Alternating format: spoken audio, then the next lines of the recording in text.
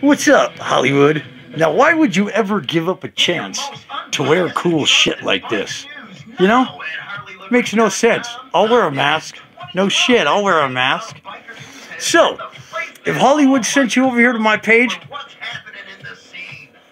thank you very much. I appreciate it very much, dude. Uh, welcome to DLS TV, where we pretty much make a mockery of everything that is serious while trying to feed homeless people that are on drugs. Thank you. so, uh, that's right. My name's uh, Chili. I'm from San Mateo, California, and this is not my page. This is our page.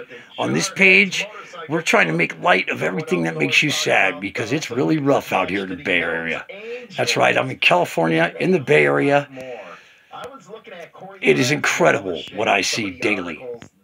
Daily. So, Hollywood, look at your ugly ass. What's up, dude? Give me that push I need, man. Give me that push I need. Thank you. I don't agree with everything he says, but most of it I do. Oh, I like it when you put the cops up there. I like that. I like that a lot. Keep going. That's the shit.